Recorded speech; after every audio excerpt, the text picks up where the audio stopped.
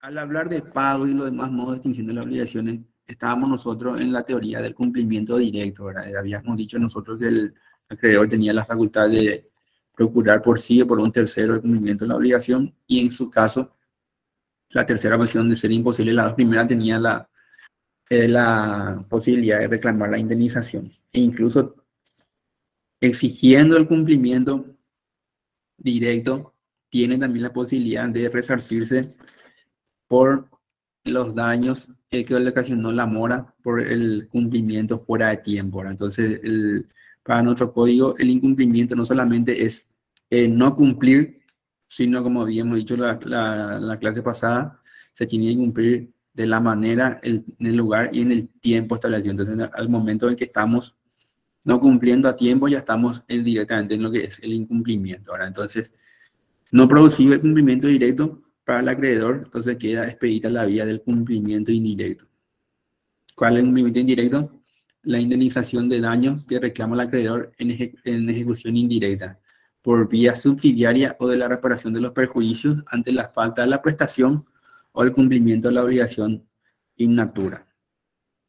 El tema que esta materia eh, trata, o sea, esta parte trata justamente, se refiere a la indemnización de daños derivados del incumplimiento de una obligación nacida por la voluntad por la cual el deudor no ha cumplido la obligación en forma voluntaria, en lo que se llama la responsabilidad obligacional, que la doctrina le llama responsabilidad contractual. Nosotros eh, podemos decir que la responsabilidad contractual es un término insuficiente para las fuentes voluntarias de nuestro código, pues nosotros tenemos el contrato y tenemos a la voluntad unilateral. Y las dos obligaciones eh, nacidas de manera voluntaria podemos eh, exigirla. Entonces nosotros tenemos una responsabilidad ya obligacional en sí y no solamente contractual como tienen los países cuyo código solamente tiene como fuente voluntaria los contratos.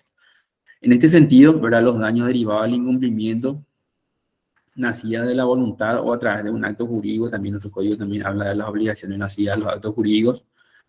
Eh, también se deben tratar los casos en los que el cumplimiento posterior eh, ya se ha hecho imposible, la famosa imposibilidad de cumplimiento por causa imputable al deudor que vimos la clase pasada, y también cuando el acreedor ya no tiene interés en dicho cumplimiento porque ya pasó un tiempo en exceso de lo que debió, de la fecha en que debió ser cumplida la obligación. Entonces ya pierde el interés y ya no le sirve el cumplimiento de, esa prestación que, que, está pendiente. Entonces en ese caso directamente lo único que va a buscar el acreedor es resarcirse de los perjuicios por dicho incumplimiento. Entonces en esta parte vamos a entrar un poco a, a, hablar de ese tema, que está directamente también regulado en el libro segundo del, del código en las partes de la obligación, artículo 421 en adelante, cuando se empieza a hablar de que eh, el deudor es responsable por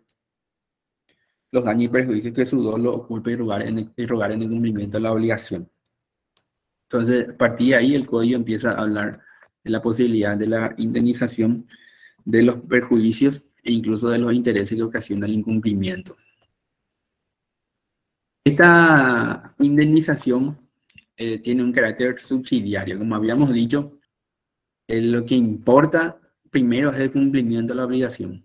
El, de realizar la prestación en la forma, en el tiempo y el modo establecido, sin que le sea posible al, al deudor ofrecer una prestación diversa en principio, y tampoco una, una indemnización aunque fuera superior al monto del pago establecido, en principio, era. Pero como dijimos, cuando esto ya no, no ya se vuelve imposible o el acreedor perdió interés por, por haber tardado mucho y demás cuestiones que habíamos señalado anteriormente, entonces ahí se habilita la vía subsidiaria. También se habilita la vía subsidiaria cuando uno reclama el cumplimiento más la indemnización del, del por la normal indemnización por el incumplimiento ya acaecido hasta el momento del reclamo.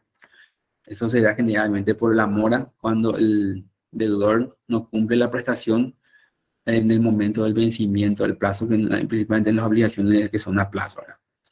En ese sentido, se habla de el carácter subsidiario de la indemnización.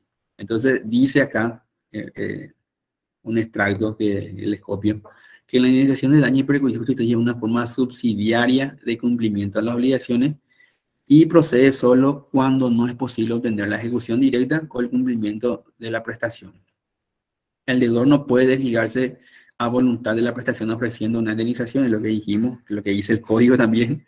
Tampoco puede el acreedor sustituir su derecho por el importe de los daños y perjuicios, en principio, puede demandar por daño y perjuicio solamente cuando la ejecución directa fracasa. Ninguna disposición legal establece estas prohibiciones, pero eh, todo esto surge de aquellas disposiciones que habíamos dado al momento de, hablar del pago y también del incumplimiento de las obligaciones como una causal de la extinción, toda vez que esta no fuera imputable al deudor. Pero sí, cuando imputable, habíamos dicho que eso se convertía justamente en una prestación exigible mediante la indemnización. Entonces, eh, esta solución surge del principio según el cual no es posible cambiar el objeto de la obligación por la sola voluntad de una de las partes. Es lo que dice también el código. Y el resarcimiento tiene lugar en dos situaciones, de acuerdo a lo que presenta este autor. Dice, primero, cuando el deudor no cumple la prestación, en cuyo caso se dice que hay incumplimiento absoluto. Y segundo, cuando el obligado la verifica con retardo, hipótesis en la cual se considera que hay cumplimiento relativo, es decir, simple mora. Esto es lo que dice el autor, pero en realidad nuestro código en el 421 y en el 422, 424, eh, perdón, y 423 eh, habla directamente que el deudor es responsable por los daños y perjuicios que su morosidad ocasiona. O sea, directamente también, como en el 421 dice, el deudor responderá por los perjuicios que su dolor golpe y rogar. directamente en los dos casos habla de, de, de la responsabilidad por daño y perjuicio.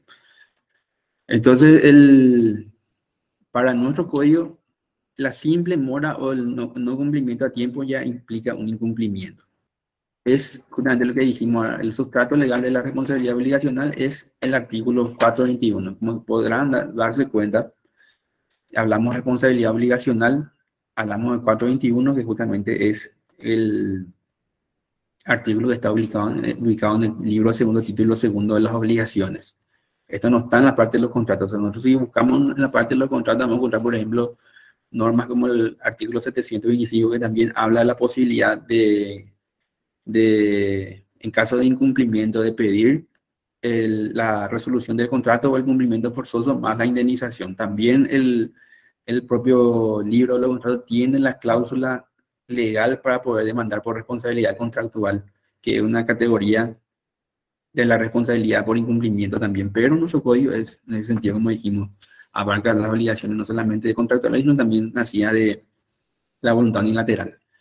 en ese sentido, 421 el, dice, el deudor responderá, entonces ahí estamos hablando de responsabilidad, por los daños y perjuicios que su dolo o culpa y rogar al acreedor en el cumplimiento de la obligación. Y seguidamente nos introduce la clásica definición de culpa, que es una definición que nosotros lo trajimos ya de Vélez y que también el nuevo Código Civil y Comercial de 2015 de Argentina la tiene así de manera casi literal a esta. Y, y decimos que habrá culpa cuando se omitieren aquellas diligencias exigidas por la naturaleza de la obligación y que corresponden a las circunstancias de persona, tiempo y lugar. Es una definición de tres líneas, pero que tiene un alcance súper extenso y que se tiene que valorar conforme a las circunstancias eh, de cada caso, refiriéndose siempre a las personas, al tiempo y al lugar. Y directamente también se señala como otro factor de atribución de responsabilidad que eh, la responsabilidad por dolo no podrá ser dispensada antemano. Entonces nuestro, nuestro, código tiene en la parte de responsabilidad por incumplimiento dos factores de atribución y siempre son subjetivos en, en teoría. La culpa y el dolo. La culpa definida del 421 y el dolo citado, pero no definido.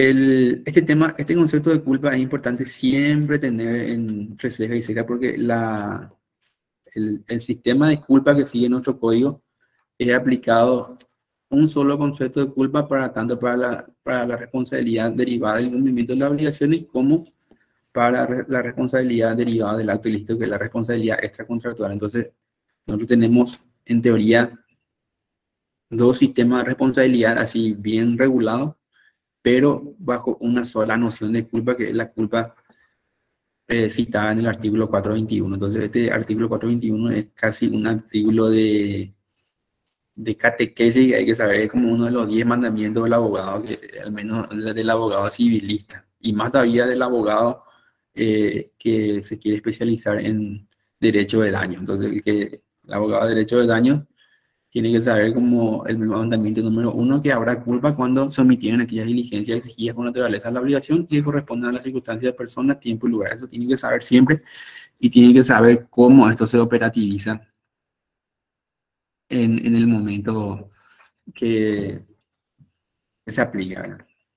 Esta, esta parte del código eh, nos presenta una función reparadora de la indemnización. Nosotros, ¿qué es lo que estamos buscando con, con la indemnización de, de, los daños por incumplimiento, que, se, que nos reparen el, eh, el, perjuicio sufrido, ya sea el perjuicio en sí o el, eh, el perjuicio como daño accesorio por la mora. Seguramente ustedes cuando dieron derecho de daño vieron que la, la indemnización o el derecho de daño cumple tres funciones, la reparadora, la preventiva y la punitiva, y dieron cada una de estas funciones en esta parte, entonces, estamos hablando de la función reparadora de los daños.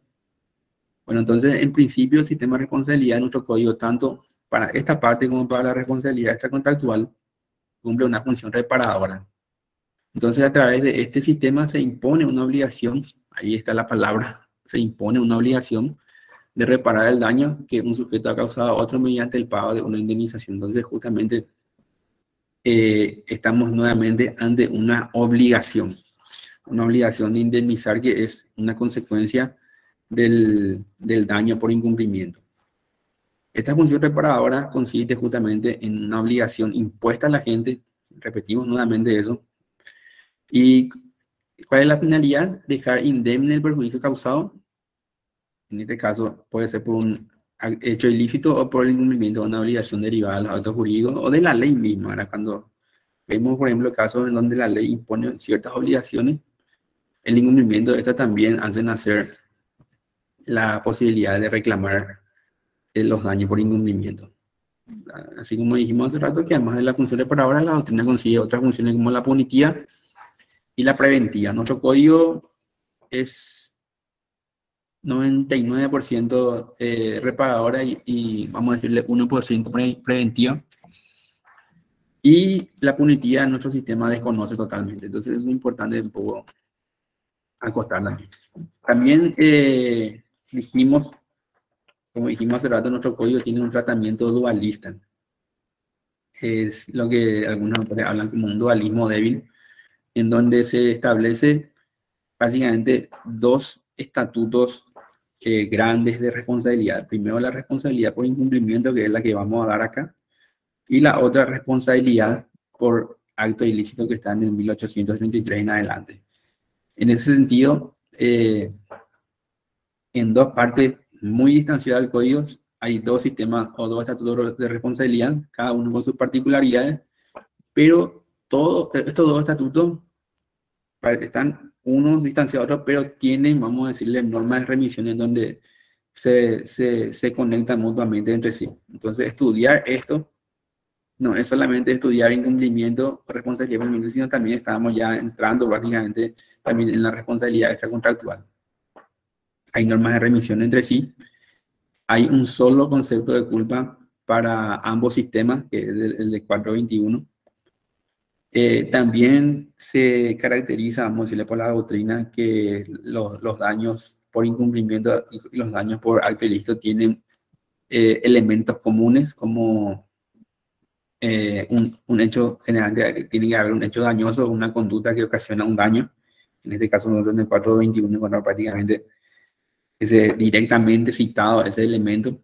También siempre se habla de eh, una conducta antijurídica. En, en, nuestro caso, la conducta antijurídica sería el no cumplir una obligación eh, tal como estaba convenida o tal como estaba comprometida un factor de atribución que en nuestro caso tenemos acá el dolo y la culpa citado expresamente dentro del 421 y la relación de causalidad que es justamente aquella que conecta el hecho con el daño causado. En este caso no hay forma luego de desconectar la conducta del deudor que incumple una obligación porque directamente hay una relación jurídica preestablecida y se puede conectar ese hecho del incumplimiento con la obligación de cumplir en ese tiempo. Entonces es muy eh, fácil conectar eso, pero lo, lo difícil es eh, determinar la causalidad en cuanto a la extensión del resarcimiento, porque ¿qué yo puedo reclamar porque una persona incumple conmigo una obligación? Y la, la ley en algunos casos nos dice expresamente lo que puedo reclamar y en otros casos no, no nos indica. Entonces, ahí tenemos que nosotros empezar a, a, ver cuáles son los rubros que corresponden reclamar. Algunos autores incluso llegan a la, al extremo de decir que nosotros tenemos un, vamos a decirle, un estatuto, o sea, un sistema de responsabilidad civil único, pero eh, lo único que, eh, lo, que, lo, que, lo único que, o sea, lo único que podemos mencionar son que en, en, estos sistemas lo que se hacen es se establecen algunas diferencias, ¿no? pero que en realidad siempre se habla de una conducta dañosa, siempre se habla de un hecho antijurídico o una conducta antijurídica, un factor de atribución una relación de causalidad. Y lo que hacemos es básicamente eh, aplicar reglas especiales para cada situación. ¿no? También tenemos que decir que aparte de estos dos sistemas grandes o estos dos estatutos grandes de responsabilidad por incumplimiento y responsabilidad por acto ilícito, el código tiene otros otras, otras categorías especiales de responsabilidad que, por ejemplo, tienen eh, uno o dos artículos nomás y no tienen nada más. Como por ejemplo la responsabilidad precontractual del artículo 689 y 690 del código. Entonces, eh, la, la polémica siempre surge en si cuál de estos dos sistemas tenemos que aplicar la responsabilidad precontractual. Y eh, también tenemos otro tipo de responsabilidades especiales como la responsabilidad por riesgo, por la responsabilidad por, por el daño ocasionado eh, con la cosa o por la cosa inanimada, la responsabilidad objetiva por eh, daño ocasionado por los animales eh, feroces, etcétera, etcétera. Entonces, eh, en teoría, estas, estos, estas responsabilidades especiales, la responsabilidad civil del Estado también, todo un tema, por no solamente está en el código, sino también está en la Constitución, en el artículo 39 y 106 de la Constitución. Entonces, ahí hay, toda una doctrina de que algunos quieren eh, directamente eh, aplicar lo que dice el código y algunos dicen que eso va más allá de lo que el código está establecido. Depende de quién la lee y en qué momento también. Pero lo cierto y lo concreto es que cuando estamos frente a categorías de responsabilidades especiales, por una cuestión de integración, siempre se le aplica el estatuto que más se adecua a esa, a esa situación en concreto. Y al fin y al cabo, el, el, la forma de plantear va a depender mucho también de cómo el abogado lo hace y cómo el, el juez valora ese, ese, planteamiento que hace el abogado. Entonces ahí van a empezar a, a, a aparecer las soluciones. ¿verdad? Por eso es que lo, lo, lo, lo fundamental acá es leer el código y ver eh, estructurar el código, o sea, hacer el, como el código tiene una, una buena regulación, pero está un poco desordenada o muy desordenada.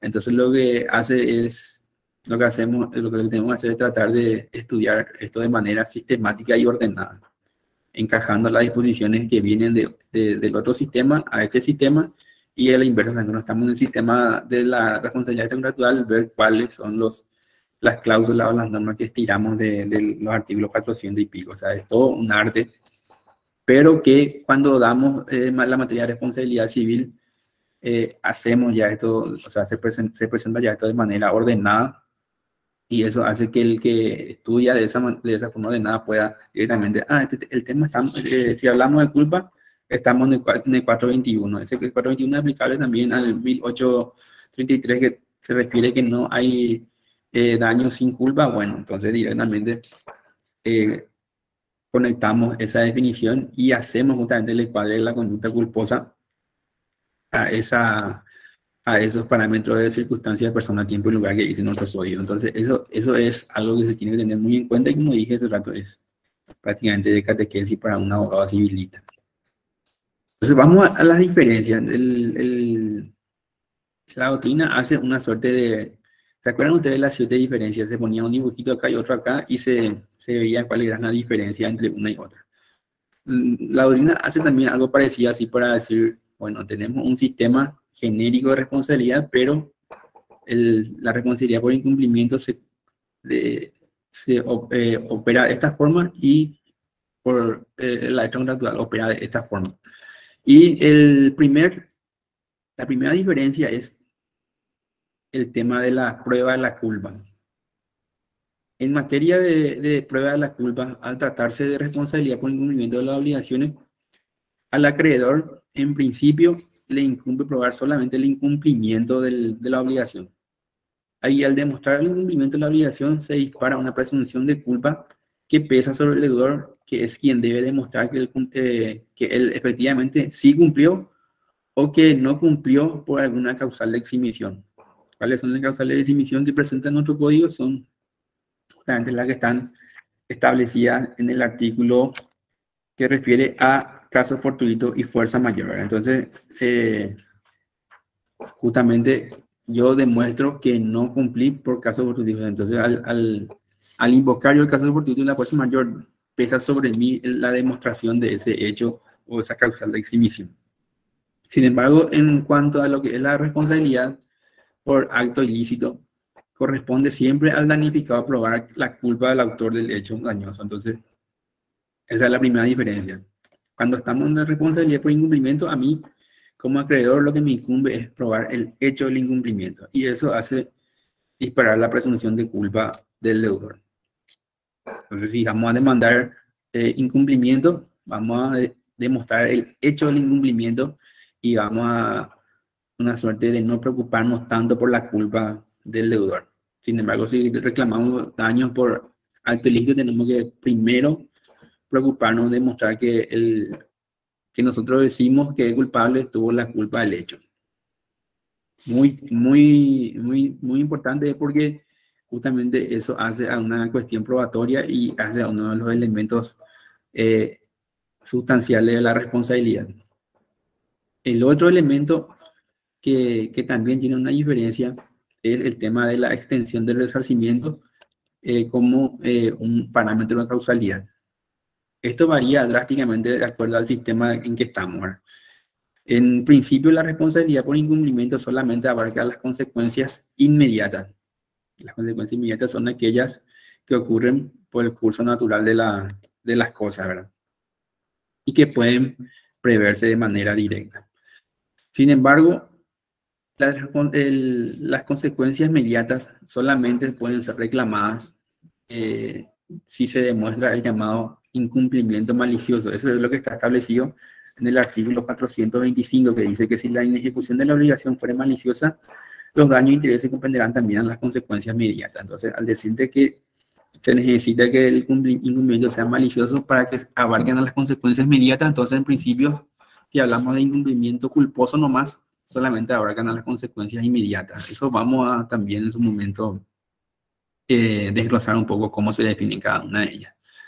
Sin embargo, cuando estamos frente a los actos ilícitos, el artículo 1856 habla que los daños comprenden a todas las consecuencias inmediatas y a las inmediatas previsibles.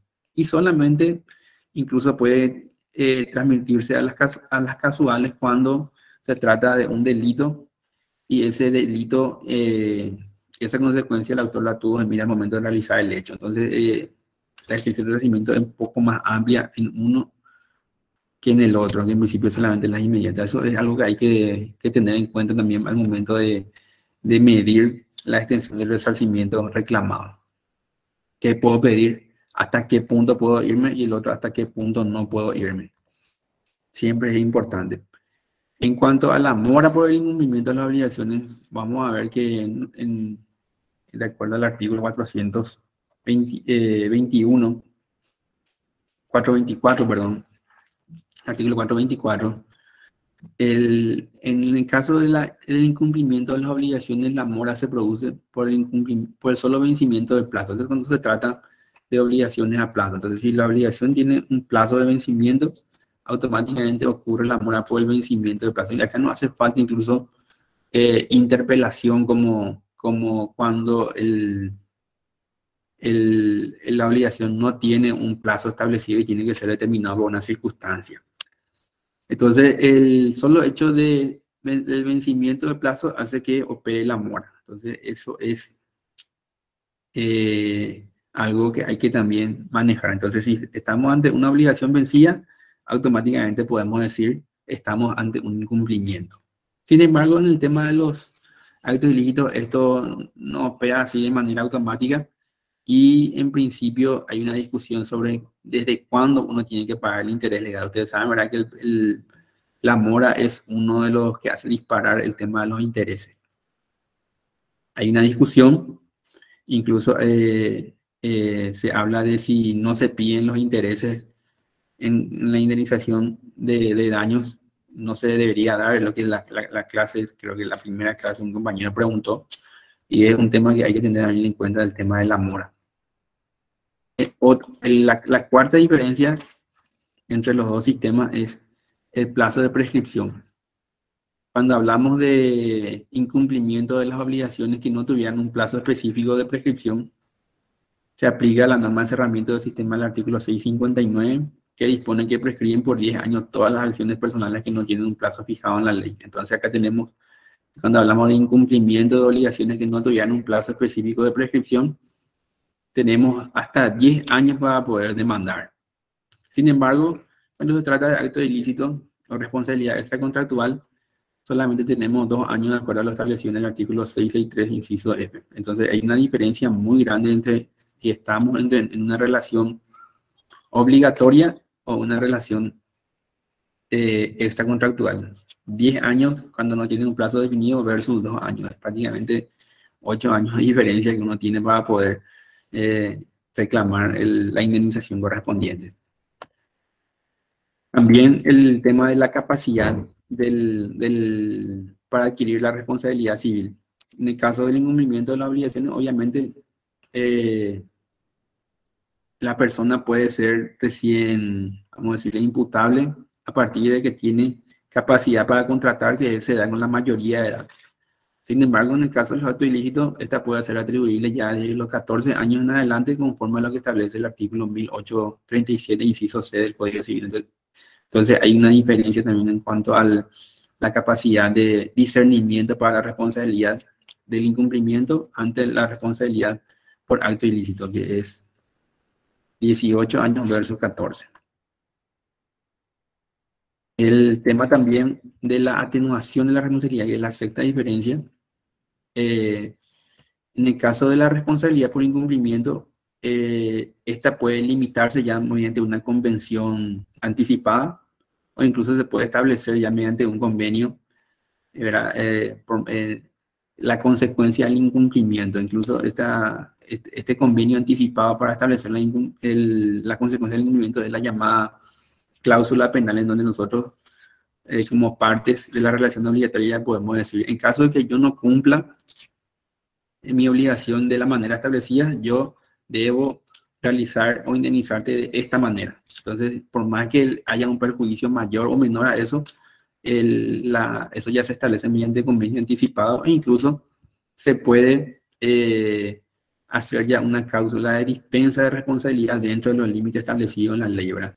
Entonces, yo eh, dispenso anticipadamente de los daños que vamos a ocasionar de manera culposa, porque la culpa puede ser dispensada, no así el dólar como vimos en el mil digo, en el 421 no puede, no puede ser realizado. Sin embargo, en el acto ilícito no, no puede existir una atenuación, tampoco se puede establecer un convenio anticipado del alcance de la responsabilidad, porque no hay una relación jurídica previa al hecho dañoso entre las partes. Yo no tengo una relación previa, en teoría, entre el desconocido que me chocó el auto y entonces no, no podemos nosotros pactar qué va a pasar en caso de que nos choquemos. Entonces, es algo obvio, ¿verdad? Pero es una diferencia fundamental. Y finalmente, en lo que hace al factor de atribución, siempre cuando hablamos de responsabilidad por incumplimiento, en principio hablamos de factores subjetivos de culpa y de dolo. Sin embargo, en la responsabilidad contractual sabemos que, aparte de los factores subjetivos, están los casos de responsabilidad objetiva en donde, por más que no exista culpa, existe la, obligación de indemnizar, que son los casos de responsabilidad por riesgo creado y los demás casos de responsabilidad objetiva o responsabilidad sin culpa que están enumerados en nuestro código. Entonces, viendo un poco esta diferencia, es súper importante eh, cuando estamos frente a un hecho dañoso delimitar en qué encuadre está, si está dentro del encuadre de una responsabilidad por incumplimiento o en una responsabilidad por un hecho dañoso o un acto ilícito en, términos genéricos. Entonces, eh, eso va a determinar justamente toda esta diferencia que vimos recién y va a hacer que, de acuerdo al tipo de daño en que estamos, podamos nosotros reclamar un resarcimiento mayor, tener más tiempo para, eh, para, para promover la acción, eh, hablar de presunción de culpas, como en el caso de la, del incumplimiento, o directamente decir, no, acá no solamente tengo que demostrar daño, sino también tengo que demostrar que el, que el agente que ocasionó el daño tuvo culpa en este caso. Entonces es una cuestión bastante práctica al momento de reclamar los daños derivados de estas circunstancias. Bueno, entonces, como habíamos dicho, en general son cuatro los requisitos de la responsabilidad civil. Entonces, nosotros también tenemos cuatro requisitos para la indemnización de incumplimiento de las obligaciones. Nosotros llamamos a la conducta antijurídica el hecho del incumplimiento en sí o la mora. Para nuestro, para, nuestro, para nuestro código, artículo 421 y 423, el hecho de no cumplir una obligación es un hecho antijurídico. ¿Por qué? Porque está justamente colisionando en contra de una norma, ya sea convencional cuando la obligación es contractual o legal cuando la obligación es legal. Este, esta conducta antijurídica obviamente le ocasiona un daño, porque uno espera siempre recibir la prestación en el lugar, el tiempo y la forma convenida. Entonces, el segundo requisito es el daño, que también está expresamente citado. Los factores de atribución subjetivo del dolor, la culpa, que está incluso la culpa definida en el 421, y la causalidad, que está definida, o por lo menos citada como forma de extensión de procedimiento en el artículo 425.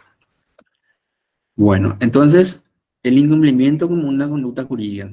Habíamos dicho que en el campo de la responsabilidad civil por incumplimiento de las obligaciones de jurídico, los elementos citados surgen de los artículos 421. Siempre tenemos que tener incluso subrayado nuestro código 423 y 425.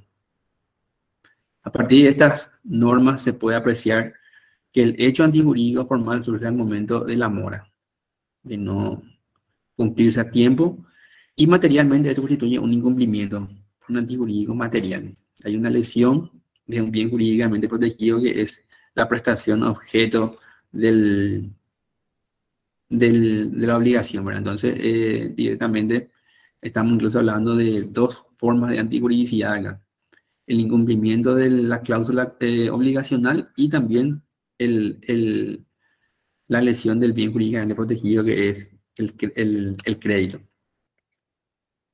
El 423 refiere a la mora del deudor y cómo el deudor se establece o queda establecido en mora.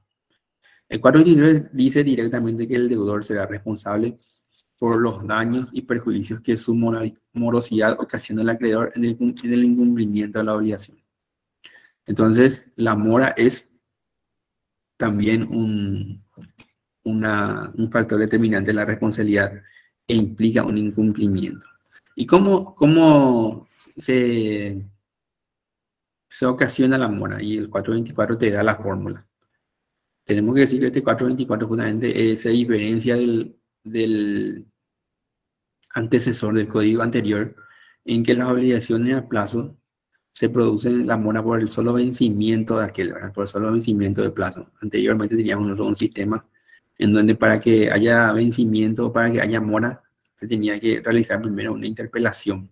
Entonces nosotros tenemos el sistema que el solo vencimiento de plazo hace incurrir en mora al acreedor. Segundo, eh, segundo caso, si el plazo no estuviera expresamente convenido, pero resultar de la naturaleza y la circunstancia de la obligación, el acreedor deberá interpelar al deudor. Entonces, cuando no hay un plazo establecido, interpelación.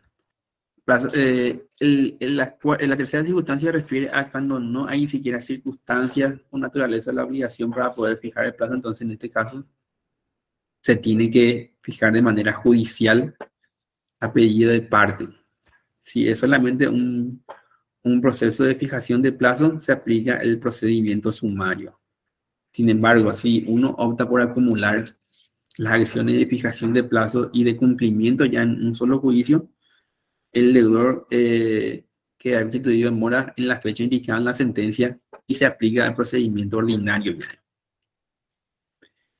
Esto es súper importante porque ya te habla ya de una forma en que el deudor se puede eximir. Para eximirse la responsabilidad derivada de la mora, el deudor deberá probar que la mora no le es imputable.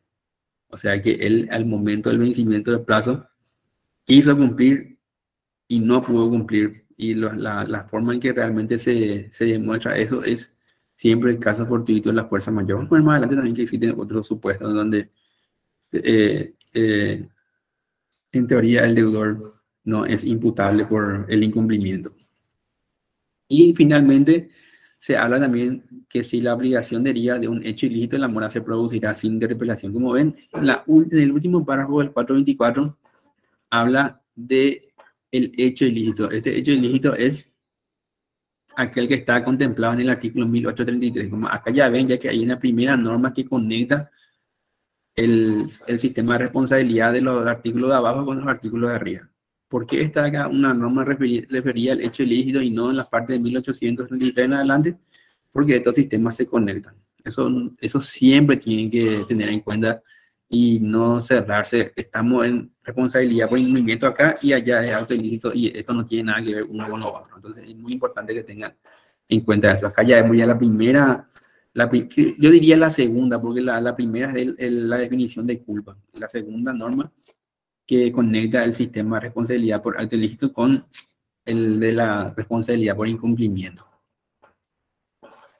El segundo requisito es el daño. Y el daño eh, resarcible puede ser material o moral. Eso el propio código también lo define. Y el código también, o sea, la doctrina también denomina el daño material como daño patrimonial y el daño moral como extrapatrimonial. El código también en alguna parte utiliza de manera indistinta la el, los términos de daño extrapatrimonial con el daño moral. Vamos a ver enseguida. Por eso el mismo, el, el, el, mismo código lo define esto y dice que existirá daño siempre que se causara algún perjuicio a otro en su persona, en sus derechos o facultades o en las cosas de su dominio o posesión. Y la obligación de reparar se extiende a toda lesión material o moral. Entonces, las dos categorías de daño están perfectamente reconocidas en nuestro código. en cuanto al daño material, también el artículo 450 hace otra vez, vamos a decirle, una diferenciación entre las dos categorías principales del daño material.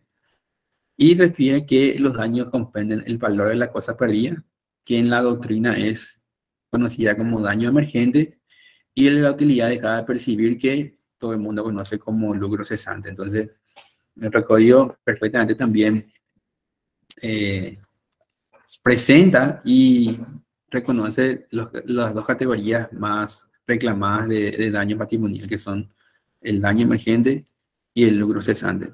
Daño emergente, el valor de la, de la pérdida sufrida, y el, daño, el lucro cesante es la utilidad dejada de percibir.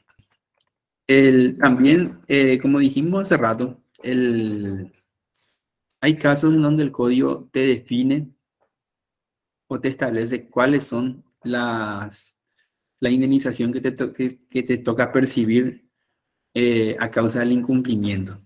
Y una de las eh, indemnizaciones ya definidas y preestablecidas en la ley es la indemnización por incumplimiento de las obligaciones de dar suma de dinero. Eso está contemplado en el artículo 453 y 475, segundo párrafo. Te dice el 453 que en las obligaciones de dar suma de dinero, la indemnización se determinará en la forma establecida en el, en el parágrafo correspondiente. Entonces ahí te, esto te remite al 475. Y el 475 a su vez te señala que en las, en las obligaciones de dar suma de dinero, la indemnización comprenda los intereses y que los intereses se deben por el solo hecho de la mora, aunque no se justifique perjuicio. O sea, acá uno necesita demostrar que vos sufriste un perjuicio, sino por el solo hecho de demostrar que el deudor está en mora, vos tenés la posibilidad de reclamar los intereses. Pero esto también está limitado, porque el acreedor en las obligaciones de dar suma de dinero, o sea, en el incumplimiento de las obligaciones de dar suma de dinero, no puede exigir mayor indemnización en virtud de haber sufrido un perjuicio superior a la inejecución de la obligación. Siempre le va a tocar, el único eh, perjuicio que va a poder percibir es los intereses.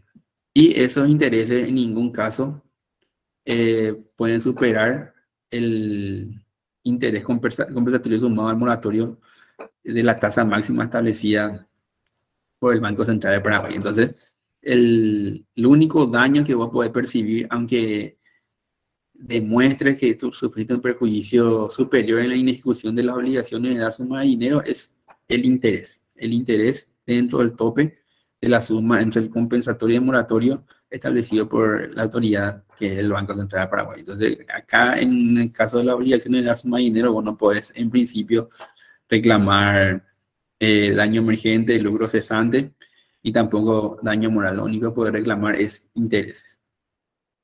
También siempre se, se, discutía antes eh, eh, la, posibilidad de reclamar el daño moral en, las obligaciones por incumplimiento. Y el código establece o nos habilita a reclamar el perjuicio extrapatrimonial en el 451, que te dice que cuando la obligación no cumplía proviene de actos a título oneroso y en todos los casos en que la ley la autorice, habrá lugar a resarcimiento, aunque el perjuicio no fuera patrimonial. Entonces, aunque no, cuando hablamos de perjuicio extrapatrimonial, estamos justamente entrando en el campo de el daño moral. Y en este caso, el juez debe estimar el importe con arreglo a las circunstancias. Entonces, esta, por, esta, por este artículo, estamos habilitados a reclamar también el daño extrapatrimonial en los casos de incumplimiento de las obligaciones derivadas de los actos jurídicos. Otra cuestión también muy interesante que tiene nuestro código y que anteriormente no se registraba. Habíamos también dicho que eh, en la responsabilidad por incumplimiento de las obligaciones eh, las partes podían ya eh, preestablecer una indemnización para el caso de incumplimiento. Y este, esta indemnización preestablecida es la famosa cláusula penal que está regulada en el artículo 454 en adelante. Este mismo artículo dice que podrá estipularse una pena para el caso de incumplimiento.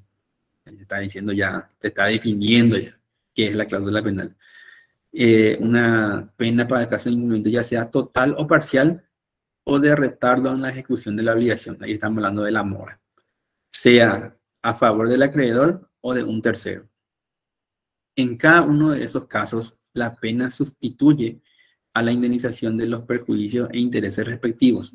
Estamos viendo cómo al tener una cláusula penal, uno automáticamente está renunciando a la indemnización de daños e intereses respectivos por vía de la, de la satisfacción o la ejecución en el cumplimiento indirecto. Entonces, en este caso, el acreedor no tendrá derecho a una pena mayor, aunque pruebe que la indemnización no es suficiente. Entonces, ahí ya está topeado y más de eso no se puede reclamar. Y para obtenerla no está obligado a probar que ha sufrido perjuicio. directamente tiene que demostrar, como siempre, solamente el hecho del incumplimiento o el retardo. Y tampoco el deudor se eximirá de satisfacerla probando que el acreedor no ha sufrido perjuicio. Uno acá eh, directamente ya se deja de discutir el perjuicio, sin lo único que se tiene que demostrar el hecho del incumplimiento para poder reclamar la cláusula penal. ¿A partir de qué momento se debe computar los intereses? Porque nosotros acá en los juzgados existe criterio dispares. Algunos jueces eh, computan desde la intimación de pago. Sin embargo, nuestro 424 dice desde el vencimiento se produce la, desde la mora se produce la obligación de pagar intereses. Y justamente el, 4, el 424 se, habla que las obligaciones que son a plazo eh, producen la mora del momento del vencimiento del plazo. Esa, ese artículo justamente se introdujo y si uno lee el, el, el, pie de nota del, del, artículo correspondiente en el anteproyecto, va a encontrar que este artículo se, se, se separa del sistema de Vélez, en donde el vencimiento del plazo no, no, no hacía incurrir en moral, sino hacía falta primero una interpelación o una intimación, así como usted dice, para poder computarse la moral. En este caso, si, hay, si es una obligación a plazo, no hay discusión de que la, la, los intereses se den desde el momento del vencimiento del plazo. Ahora, si no estuviera expresamente convenido, pero resultado de la naturaleza, ahí sí se requiere que haya una intimación o una interpelación al lector para que eh, se entre o se constituya la mora. Entonces, eh, definitivamente no hay discusión sobre este tema. Y si no se aplica así, hay un problema de, de aplicación y puede ser objeto de recurso para poder... Se debe computar desde la mora. Y es peor aún, en los cheques, por ejemplo, profesor, se presenta y se rechaza los cheques por el banco. Eso ya es otra interpelación también.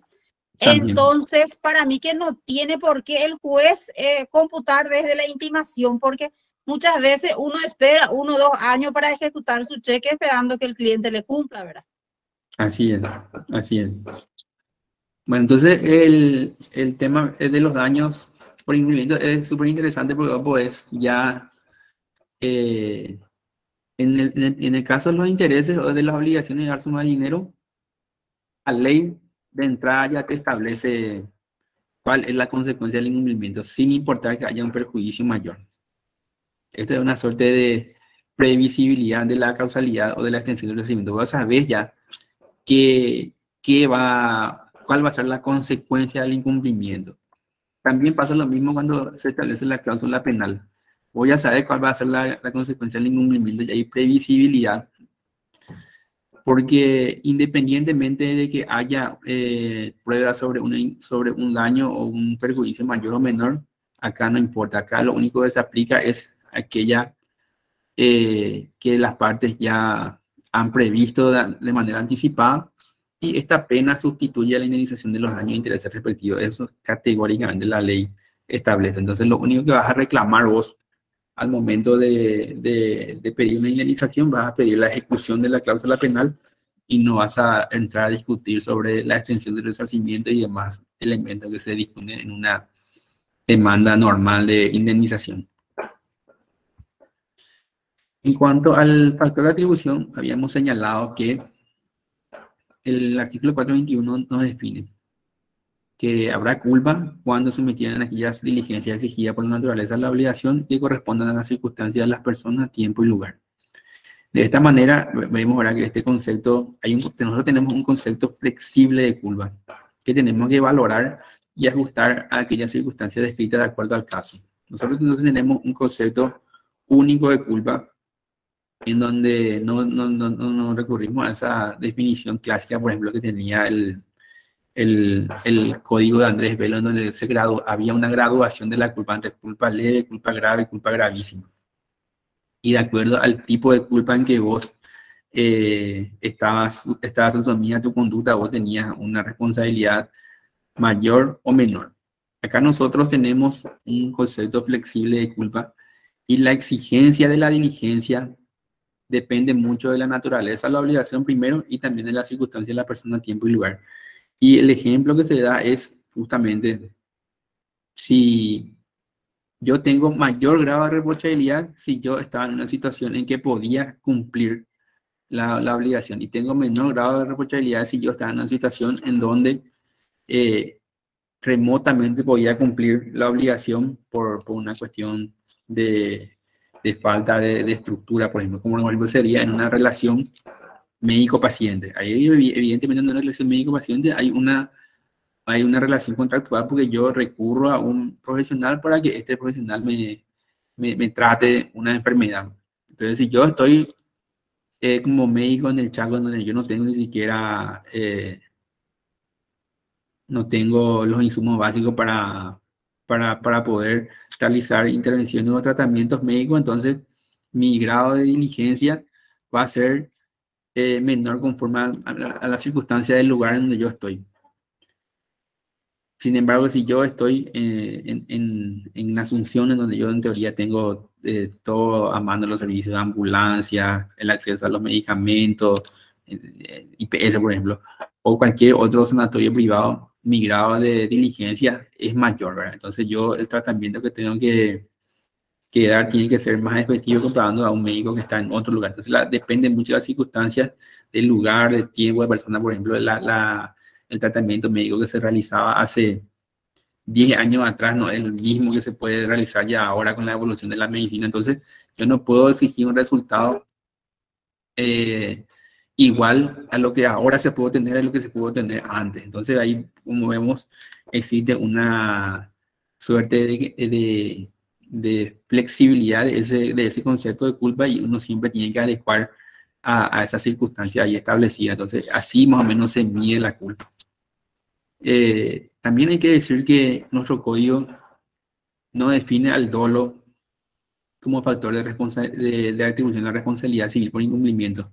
Sin embargo, vamos a encontrar que de la interpretación realizada de los preceptos del código, eh, pareciera ser que de acuerdo al 425, el, el dolo se configura por el incumplimiento malicioso de una obligación en la responsabilidad contractual. Entonces, el, cuando hablamos de un incumplimiento a propósito, o de manera maliciosa estamos frente a un incumplimiento doloso. Sin embargo, cuando estamos ante un incumplimiento solamente por no haber haberse tomado las debidas diligencias, entonces ahí estamos ante un incumplimiento culposo. Esa es básicamente la diferencia entre, entre la culpa y el dolo por incumplimiento. Y la consecuencia justamente es el grado de responsabilidad.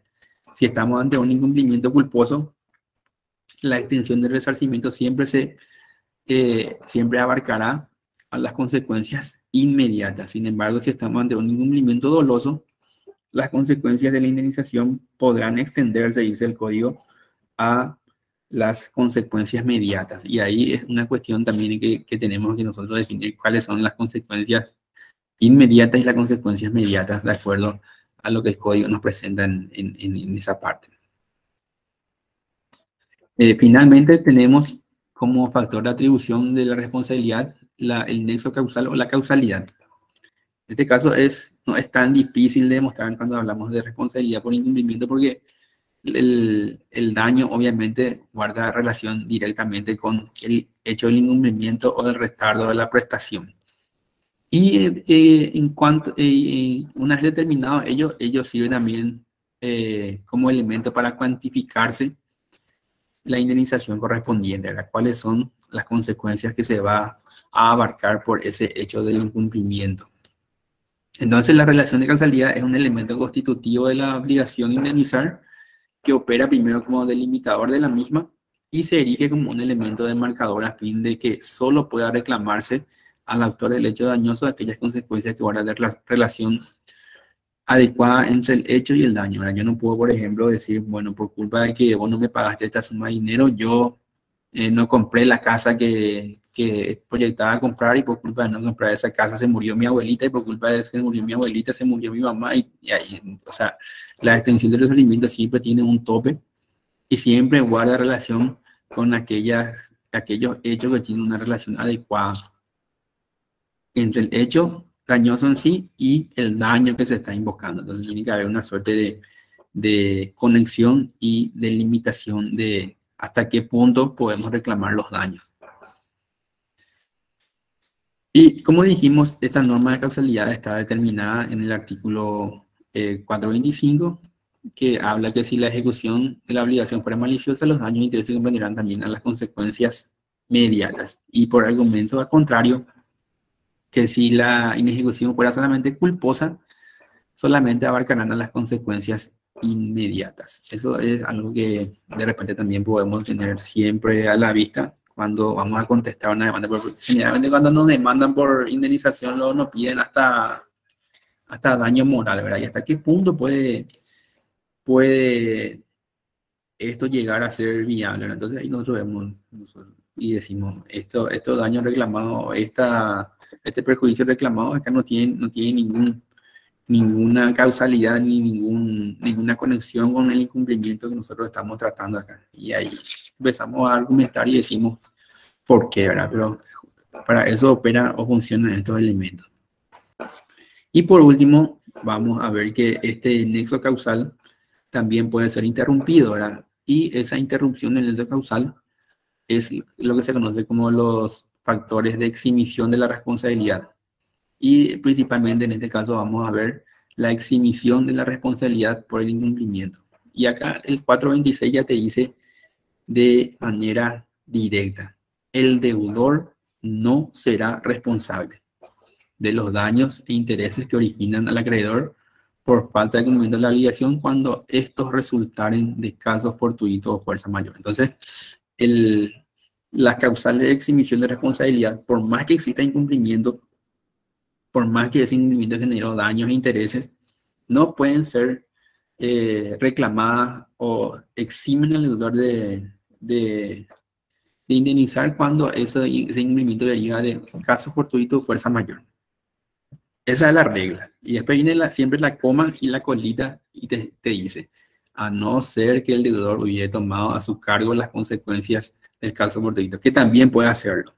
Entonces, si yo digo, eh, me obligo a realizar una prestación y tomo a mi cargo las consecuencias del caso fortuito y fuerza mayor, por más que se haya dado eso, yo igual tengo responsabilidad.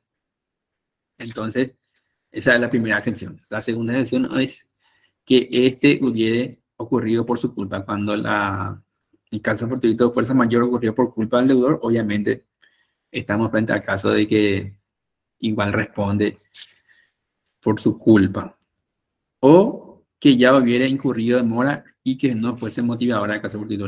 Estando entonces uno en mora, por más que haya ocurrido después del caso de mayor, es siempre tu responsabilidad, porque voy a estar en mora, pues ya estar en incumplimiento. Entonces no puedes decir, yo no puedo cumplir, porque yo al, al momento en que yo podía cumplir, no cumplí. Después entré en mora y no puedo más cumplir, bueno, ahí ya es mi problema, como se dice. Entonces, aparte del caso fortuito y la fuerza mayor, también eh, la doctrina habla de que le exime al deudor de los daños e intereses que origina el, eh, la falta de cumplimiento. Por ejemplo, cuando estamos frente a la culpa del acreedor, cuando el acreedor mismo es el culpable del incumplimiento, entonces yo no puedo eh, estar compelido a pagar intereses y mucho menos los daños. Y eso, por ejemplo, se da en el caso que vimos la clase pasada de la mora al acreedor. Entonces, cuando el acreedor entra en mora o cuando no se puede ejecutar la prestación por culpa del acreedor, yo tengo la herramienta para liberarme. ¿Y cuál es mi herramienta? El pago por consignación. Me voy y me presento ante el juez y digo, yo me quiero liberar, yo, yo estoy en plazo para cumplir, él no me quiere recibir, se dan todos los elementos de, de la circunstancia de persona, tiempo y lugar para que yo pueda cumplir, él no me recibe la, la prestación, no, no, no puedo yo cumplir, entonces yo ofrezco pago por consignación y pido que se deposite la cosa objeto de la prestación acá o que se deposite la suma de dinero en una cuenta judicial. Y con eso yo me libero. Y no estoy obligado a pagar daños ni intereses. El segundo caso es cuando el, hecho ocurre por culpa de un tercero por quien yo no deba responder. Entonces, eso es obvio el caso fortuito de la fuerza mayor ocurre por culpa de un tercero porque yo no debo responder, entonces eso va más allá de mis posibilidades. Y la tercera es eh, la forma de liberarme yo es por la imposibilidad de cumplimiento, donde que vimos una forma de extinción de la obligación. Entonces, si hay una imposibilidad de cumplimiento, generalmente ya no se puede lo exigir y eso hace que se extinga la obligación y por lo tanto no hay incumplimiento.